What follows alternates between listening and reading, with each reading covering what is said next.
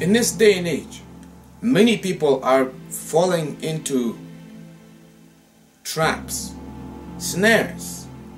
They're falling into deceptions.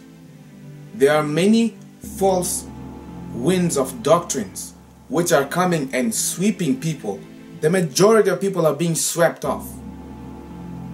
This video, I hope this video will open your eyes so that you will know exactly that, you know, when people are often going in one direction, it's not always a good thing to go where everybody else is going. Because if you see a, a lot of people going in one direction, you need to say, wait a second, there's a case here. Many people are flocking in that direction, and they're calling that truth. If everybody's going there and they are calling that truth, you need to say, okay, the majority has never always been on the right path. The majority, in fact, are the ones who tend to always go into perdition, into destruction, should I say. Now, in this day and age, so many new doctrines are being thrown around and people seem to be catching these winds of doctrines and then run with it.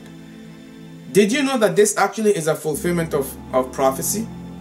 It's actually a, a fulfillment of what is written in the scriptures.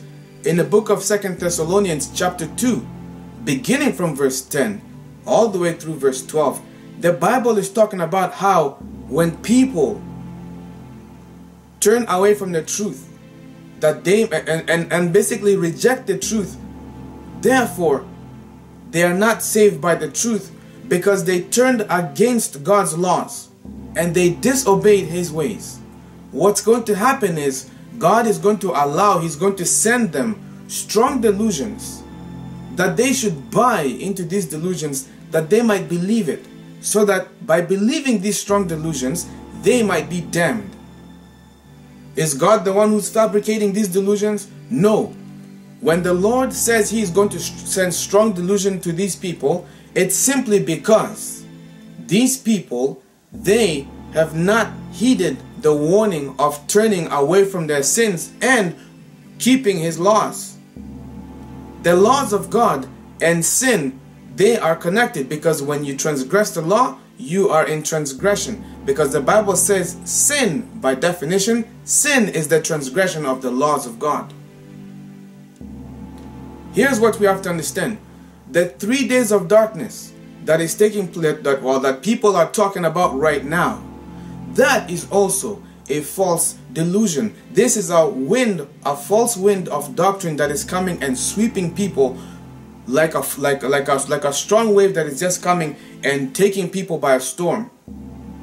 Many people are being carried away by this strong delusion and they're actually now believing that there is coming a, a, day, a time of three days of darkness and this and that, and there's going to be demons coming out from hell, and then they're going to start destroying the human race, and that God's children are going to be in houses, in their houses, with the doors and windows all locked.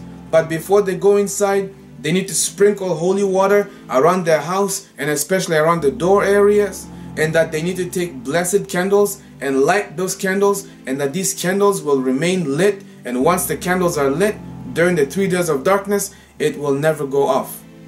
Little do people know that they're actually being introduced into a satanic type of a ritual. This is a Catholic doctrine. If there's anything that you need to understand about the Catholic Church, the Catholic Church is not a Christian church. The Catholic Church is an anti Christian church.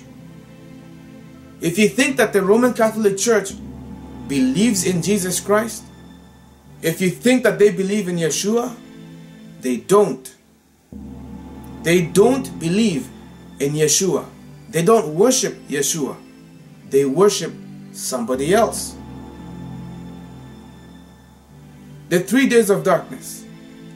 A lot of people are flocking around this, thinking this is something that's going to come to pass and we're going to, and then everybody starts to now get all freaky scared and everything and and now they're trying to go and what now they're, they're trying to go and make the purchase these uh these candles um what do they call them um beeswax the the, the it's blessed it's blessed blessed beeswax candles you know So he's like, you gotta buy these things and then you and you keep them in your house. You need to have water. You need to have holy water so you can bless your house with it. And then you have to anoint yourself with the holy water. That's a Catholic, that's a Catholic teaching, typical Catholic traditions. You see, ladies and gentlemen, this three days of darkness thing, this quote unquote three days of darkness, this is something that they are pulling from the Old Testament where they're saying, well, the, the Bible says that Moses stretched forth his hand and then there was darkness upon the land of Egypt for three days. So, it happened in the past. The Bible mentioned how long it, it remained in, in, in Egypt for three days. That's not something that's saying that it's going to be a three days of darkness in the future. But they're taking the scriptures of something that happened literally in the past and they're saying that that is what's going to happen. But the Bible doesn't say that we're going to have any, any, anything of a three days of darkness. No. Even when they use that other passage in the book of Revelation that talks about how he talks about the second coming of the Lord, where the, the, the sun will be darkened, um, where, where, the, where the sun itself will become black, um, you know, a sackcloth of a sackcloth of hair. They're going to say, that. See, that is the the three days of darkness. Do not take all these other scriptures. You see, ladies and gentlemen, if you don't know the originals, if you don't know the uh, the original uh, diamond, if you if you have if you study a diamond, you will be able to know whether somebody is giving you a false diamond or not. That's the same thing with the Word of God. The Word of God is our precious jewel. If you don't know that, that precious jewel, if you don't know this precious stone, the precious rock, should I say, if you don't study this rock for yourself and be grounded upon the rock of upon Jesus Christ, the rock of ages, upon the word of God, Jesus Christ, the word of God, if you're not grounded in that, you will be taken by a storm by these strong delusions because the Lord made a promise that those who don't heed the word of God, those who don't study the word of God, those who don't turn to his laws, they are going to be receiving these false winds of doctrines and they're going to run with it. And many of them are going to come with signs and wonders. They are going to be dreamers. People are going to come and they're going to tell you that that this that, that God has spoken to them in these dreams like this, like this, like that, and that three days of darkness is going to take place because of God, because God spoke to them in dreams and, and, and in this and that. While the Lord did, did promise that people are going to have visions and dreams in the last days, understand that Satan is also able to give people visions and dreams in these last days to carry forth his agenda of further pushing a strong delusion. When the Lord allows Satan to make his move, Satan is going to come and say, okay, I'm claiming these people to myself. I'm going to send them these, I'm going to come with them with a strong delusion. You see, ladies and gentlemen, by knowing the word of God, then you'll be able to stay away from, from these kinds of false winds of doctrines. This three days of darkness thing, it, it's of a Catholic origin. Don't waste your time with it. There is no scripture that justifies the three days of darkness that they're talking about that it's soon to take place. The other thing that people are mentioning with regards to this whole three days of darkness thing is this whole Nibiru wormwood or whatever, all those things. They're oh, this planet is this planet is going to collide with our sun and it's going to result in the in the three days of darkness and then demons are going to come from hell and that's something that is actually written down in in with the in, in the three days of darkness that you're going to see certain signs that oh the church is going to start falling into immorality and you're going to start seeing this and you're going to see that and then eventually you're going to start seeing um, signs in the heavens. You're going to see lightning and you're going to see this and that. And then the earth will obviously shake and then all kinds of things. And then people are going to begin to see apparitions. And then they go on to describe that demons will be terrorizing the human race. That demons are going to be on the earth terrorizing people and basically that only the saints of God, the saints of God will be in their homes. So now your house is your place of refuge. As long as you stay in your house and as long as you have the, the blessed candle and the holy water sprinkled around your house, you are safe from the from the from the attacks of the demons. That is an erroneous teaching. It is nowhere. It is it is not even by it is not even remotely close to anything about the about Bible prophecy. It's not remotely close. There is no such thing as the demons are going to fly around and then they're going to start murdering people and doing this and that and people are going to see all these apparitions and it's going to be all over the place all in your face.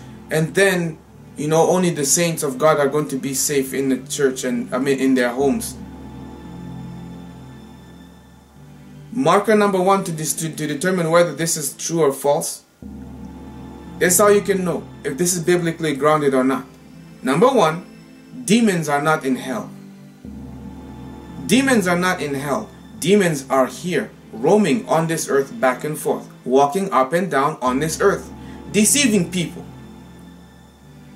The Bible says that the devil walks about like a roaring lion, seeking whom he may devour. A lion is not beneath the surface of the earth. A lion roams on the earth, walks, seeking whom he may devour. That is how the devil is described in the book of Job. When God spoke to Satan, he said, Satan, from when from where do you come? And Satan said, From what from, from I come from the earth, from walking to and fro on the earth, and from walking up and down about it. If Satan is the head of all his legions of fallen angels, and these fallen angels are called demons or, or devils, if the devil, Satan, is the head of, of, of the devils and or demons. The question is, where are his demons? Are they not going to be where the leader is? Of course, they are on this earth. Nobody is in hell right now being tormented by demons. Because the fire, the second death, the fire which is going to take place at the end of time, that lake of fire, the Bible is clear, that lake of fire was prepared for the devil and his fallen angels. That's who the fire was originally uh, prepared for. It never was prepared for you. It never was prepared for me. The fire was not prepared for the human race. This three days of darkness is a strong delusion that is being sent upon the world, and people are now believing these lies. Because they are not grounded in the truth, they are believing these lies, not knowing that they are going to be damned. Take the scriptures for what it is. If you see any type of new winds of doctrines and you see people flocking by the thousands, by the millions, and everybody is saying, Amen, Amen, praise be to the Lord, Amen. I'm going to be protected during the three days of darkness. If you are are falling in line, in line with that, be very cautious. Look at the word of God for yourself because you don't want to be caught in this false deception. And for the people out there, just for the people out there who think that who, who are saying, Amen, I want Jesus to come. Be careful what you wish for. Because some people, they might say, Yeah, I just want Jesus to come back and put an end to this. I just want to go to heaven. But they're in a they're living in an unlawful relationship. I want Jesus to come back, but they're still smoking. I want Jesus to come back and just take me home so I can be with him in heaven but they committed adultery and they have not yet repented of it. I want Jesus to come back and take me home and put an end to this miserable world that we live in. I want him to just take me. I want to be in heaven with the Lord. But they are still stuck with gossiping, thinking foul thoughts in their heads.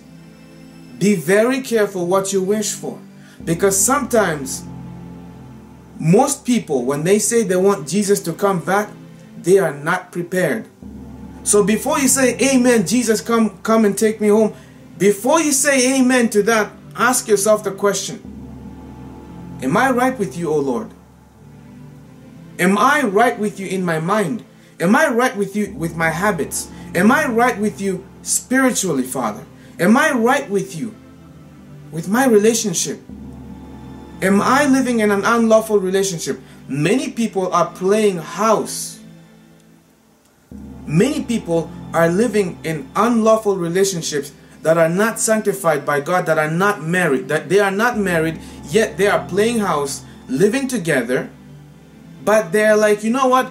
I'm I'm being with this person, but I don't want to marry them just because what if I marry them and then it turns out that they cheat on me or or they and I and I end up not liking them because you know I'm I'm sick of their their their, habits. Things used to be good, but now they are not so good to me. So they don't want to get married because they're thinking, well, if I get married to, to this person and then they end up making the one wrong move, maybe they end up, you know, having bad habits. Because I'm not married to them, I can leave at any time. So they're leaving that window open. Because if I get married to this person, then that means that I can't leave them legally and biblically speaking, spiritually, before the eyes of the Lord, I can't leave them. So they keep the, those options open.